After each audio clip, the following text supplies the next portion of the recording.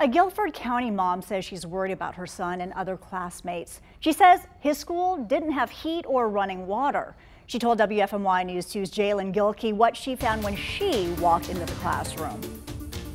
When Selena Reveron walked into her son's classroom at Madison Elementary last Wednesday, she immediately knew something was wrong.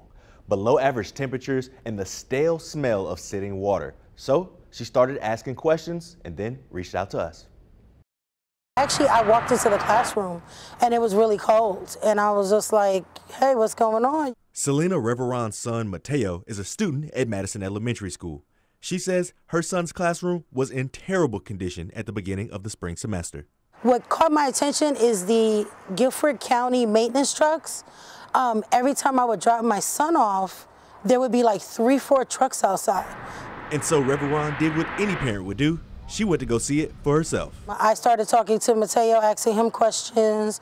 Um, I started talking to other parents, um, seeing what's going on with them. You know, I, you know, had correspondence with his teachers, you know, because I knew that it was so cold in there that the kids were wearing their outerwear inside. It was so cold in her son's classroom, she decided to do something about it.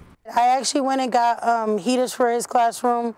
Um, to try and help with the situation. I took them up there, um, and that's actually what they're using now.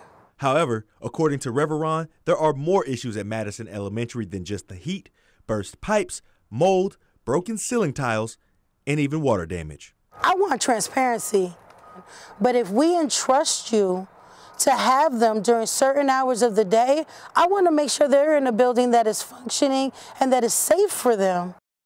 I spoke with Guilford, Guilford, County Schools today and they told me they're almost done fixing the water issues and the burst pipes. They also say that they've treated mold and replaced the ceiling tiles. The district tells me the problems at Madison are among 62 repair projects that began the day after Christmas. As for the heat problems, the district sent me a statement and it reads in part, additional portable heating units are being placed in six Madison elementary classrooms.